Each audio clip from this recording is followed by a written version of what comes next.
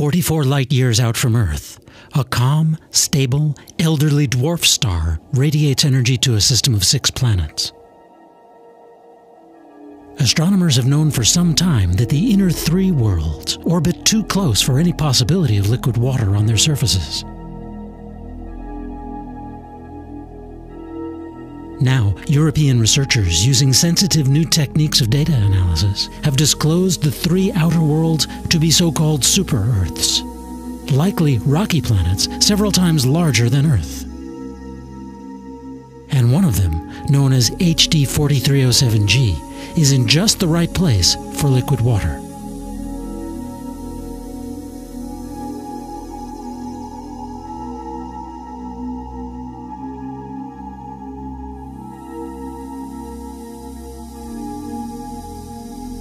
It's greater than seven times more massive than our Earth, but it gets just about the same amount of energy from its star as we get from our Sun.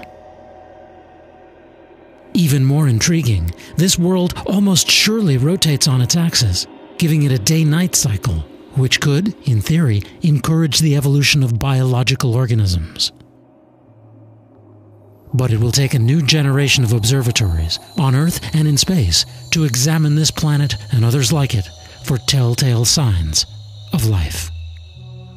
For Space.com, I'm Dave Brody.